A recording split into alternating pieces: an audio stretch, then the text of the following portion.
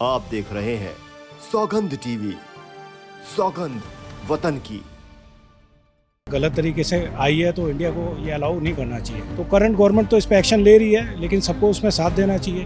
देखिए, अगर वो ये क्लियरली बोलती है कि वहाँ उसकी जान को खतरा है तो गवर्नमेंट को उसकी जान जो है बचानी चाहिए। कि उसकी वजह से हमारे जो हिंदू भाई बहन वहाँ पाकिस्तान में, उन पर कोई दिक्कत नहीं आनी चाहिए। और हिंदू अगर वहाँ पर कोई माइनॉरिटी अगर परेशानी में है तो उनको यहाँ इंडिया में पना दी जाए। दो हफ्तों से सुर्खियों में छाई हुई सीमा हैदर की अगर बात की जाए तो लगातार देश में जहाँ मांग छिड़ गई है कि सीमा हैदर को वापस जाना चाहिए। लेकिन उस दरमियान अगर बात की जाए, चर्चा की जाए तो आपको बताते चलें कि सीमा हैदर के भारत में रहने की वजह से पाकिस्तान में जो अत्याचार, चार हो रहे हैं, वो साफ़ तौर पर दिखते हैं। जिस तरीके से वहाँ बना प्राचीन मंदिर को जो है, तोड़ दिया गया, उसके बाद अब सिंध सिंधु की बात की जाए तो वहाँ पर महिलाओं के साथ में अत्याचार किया जा रहा है। उन महिलाओं से ज़बरदस्ती निकाह करवाया जा रहा है। तो कहीं ना कहीं पाकिस्तान से लगातार जिस तरीके की खबरें बाहर आ रही हैं तो ऐसे में आम जनता क्या सोच रही है? क्या वाकई सीमा हैदर को भारत में रहना चाहिए या नहीं रहना चाहिए? क्या लगता है लगातार सीमा हैदर जिस तरीके से सुर्खियों में बनी हुई हैं, वो गलत तरीके से जो भारत आई, सबसे पहले उस पर आपके विचार जानना चाहिए। देखिए, सबसे पहले तो वो अगर गलत तरीके से आई है तो इंडिया को ये अलाउ नहीं करना चाहिए। हमारे देश में आप देख लीजिए, जहाँ जहाँ भी पॉसिबल है, लोग जो है इलीगल तरीके से देश में एंटर कर जाते हैं। तो करंट गवर्नमेंट तो इस पर एक्शन ले रही है, लेकिन सबको उसमें साथ देना चाहिए। पीछे गवर्नमेंट ने ये कानून भी लाया था कि अगर आसपास के देशों में, किसी में हिंदुओं पे जुल्म होता है तो सरकार उनको जो है, हमारे देश में पना देगी। कई लोगों ने इसका विद्रोह किया, जो मेरी नज़र में ऐसा होना नहीं चाहिए। अब अगर उस सीमा हैदर की वजह से हिंदुओं को पाकिस्तान में अगर कुछ दिक्कत आ रही है तो गवर्नमेंट को इसको स्ट्रांगली लेना चाहिए, पाकिस्तान की गवर्नमेंट से और इंटरनेशनल फॉरम्स में भी लेना चाहिए। अगर बात की जाए तो एटीएस ने लगातार कार्रवाई करी सारी चीज़ें चर्चा हुई, लेकिन जब उसके बाद सीमा हैदर से बात की गई तो उनका ये कहना है कि मुझे भारत की जेल में डाल दो, मैं सज़ा काटने के लिए तैयार हूँ, लेकिन मुझे पाकिस्तान ना भेजो, क्योंकि मेरा गुना केवल गलत तरीके से भारत आना है। मेरी मंशा और कुछ नहीं।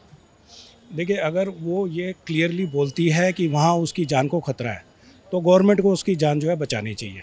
और एटीएस तो अपनी पूरी जाँच तो कर ही रहे हैं, छानबीन तो उस पर कर ही रहे हैं। लेकिन मेरा फिर यही कहना है कि उसकी वजह से हमारे जो हिंदू भाई बहन वहाँ पाकिस्तान में, उन पर कोई दिक्कत नहीं आनी चाहिए।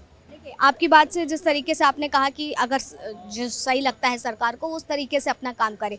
लेकिन अगर बात की जाए तो पाकिस्तान पर विश्वास करना, क्या वाकई पाकिस्तान और पाकिस्तान के लोगों पर विश्वास करना आज के समय जायज़ है, क्योंकि जितनी बार भी देश ने पाकिस्तान पर विश्वास किया है, उसको मुँह की खानी पड़ी है। देखिए, इंसान तो वहाँ भी वैसे ही है जैसे हम लोग हैं। तो ये सब वही डिप्लोमेटिक रिश्तों की बात है। वहाँ के भी पॉलिटिकल कंपल्शन होती है, जो वहाँ के लोग ऐसा करते हैं। यहाँ की भी पॉलिटिकल कंपल्शन होती है, जो यहाँ के लोग जो है कुछ अलग तरीके से पेश करते हैं। तो कुल मिला के वही है। अगर हम सरकार जो इस तरह में कदम उठा ही रही है, एक तो जो इलीगल तरीके से आते हैं नेशनल पॉपुलेशन के लिए जो रजिस्टर बनाने की बात चल रही है उसको इम्प्लीमेंट किया जाए इलीगल लोगों को आने ना दिया जाए देश में। और हिंदू अगर वहाँ पे कोई माइनॉरिटी अगर परेशानी में है तो उनको यहाँ इंडिया में पना दी जाए। क्या लगता है सीमा हैदर के जिस तरीके से पाकिस्तान से भारत आने को लेकर के सुरक्षा व्यवस्था पर सवाल खड़े हो रहे हैं आपके हिसाब से क्या लगता है? देखिए इतना बड़ा देश है चारों तरफ़ से उसकी बाउंड्री ओपन है। तो ऐसी घटनाएँ तो होती रहेगी। लेकिन अब देखिए, सामने भी आ गई है पकड़ पकड़ में भी आ गई बात। तो पहले से तो बेहतर है, देश की सुरक्षा व्यवस्था। आप पहले देखिए इसी कनॉट प्लेस में कितनी जगह बम फटते थे। और आज की डेट में देखिए, शांति है। कहीं पे भी टेररिस्ट एक्टिविटी आपको दिल्ली, बॉम्बे कहीं नहीं देखने को मिल रही, जबकि पहले ऐसा होता था कि हर अगले दिन जो है आपको बम फटने की न्यूज़ मिलती थी। तो सरकार ठीक कर रही है, काम हम लोगों को उसमें सपोर्ट करना चाहिए। जब कोई ऐसा बिल लाती है, ऐसा कोई अध्यादेश लाती है सिक्योरिटी के लिए तो हमें उसमें जो है सपोर्ट करना चाहिए। जब हम लोगों से बात करते हैं तो तरह तरह के लोग अपनी अपनी राय रखते हैं। उसी में से कुछ लोगों ने ये भी राय रखी थी कि सीमा हैदर को अगर देखा जाए तो हमें साथ में ये भी नहीं बोलना चाहिए कि आने वाला समय पंद्रह अगस्त का है। तो हो सकता है ये सोची समझी साजिश की गई हो, देश के ऊपर कुछ गलत संदेश या उस तरीके की घटना घटित होने के लिए।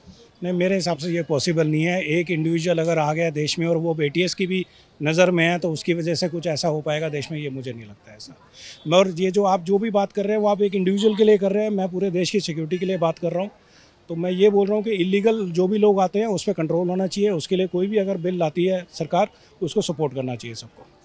देखिए, चर्चा कर रहे थे सीमा हैदर को लेकर के कि लोगों को क्या कुछ राय है तो उस पर इन्होंने अपनी राय रखी और आपको की क्या कुछ राय है कमेंट सेशन पे ज़रूर बताइएगा। फ़िलहाल तब तक के लिए आप बने रहे सौगंध टीवी पर, कैमरा पर्सन रोहित के साथ आस्था तिवारी। आप देख रहे हैं सौगंध टीवी, सौगंध वतन की।